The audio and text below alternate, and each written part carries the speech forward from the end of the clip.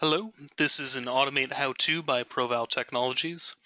I am Keegan Carter, an automation engineer with ProVal, and today I'll be walking you through some computer-specific overrides within the Patch Manager.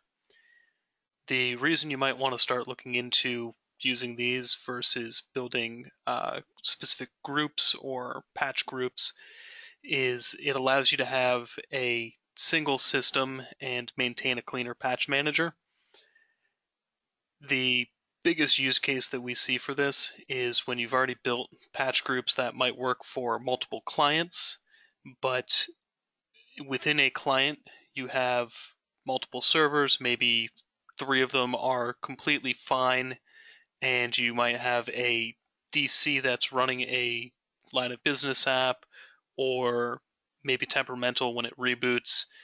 And what you're going to want to do is not have to build a separate EDF system or assign it manually into a group because that could easily be lost or confused. In that case, it's going to be way easier to come into the patch manager, come over to your devices view,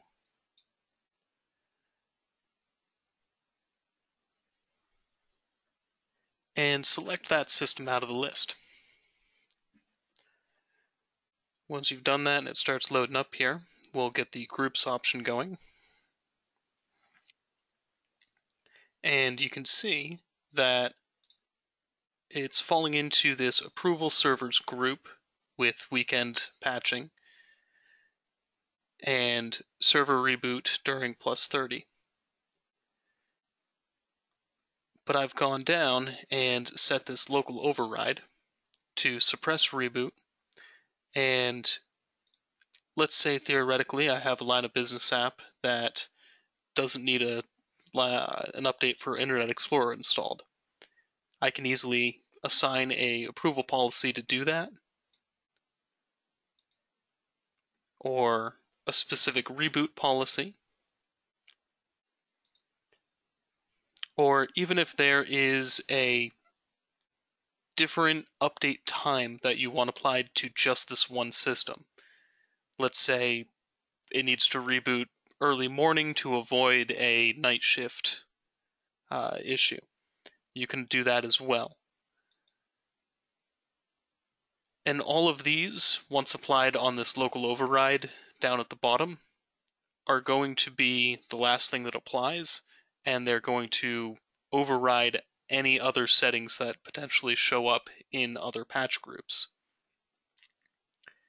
The biggest use case, as I said, is anytime you have a one-off system. Um, you don't want to be doing this for more than probably five or so systems at a client. It starts becoming a situation where you have uh, a lot of things to track if uh, if you only have one-off though, definitely recommended. This has been a ProVal Technologies how-to on Automate, and thank you for watching.